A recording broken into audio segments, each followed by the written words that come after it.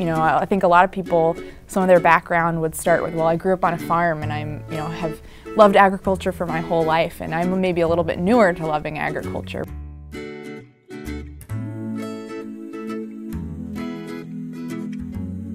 A holistic approach to looking at how can we um, use what we know about ecological processes to help us with agricultural systems too.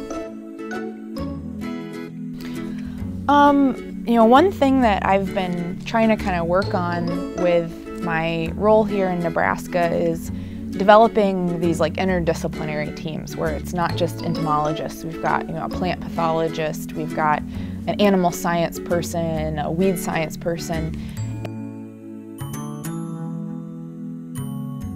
If we're really going to answer questions and, you know, find out new information that's going to help people to grow a more sustainable crop and to feed the world, um, we need to look at this from all sides and kind of try to work together.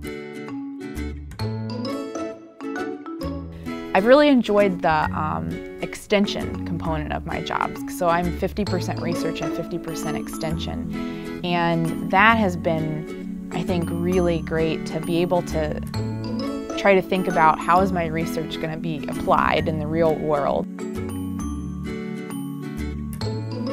We can't get in a mindset of this kind of silver bullet that, you know, this is a perfect method, there's not going to be any problems.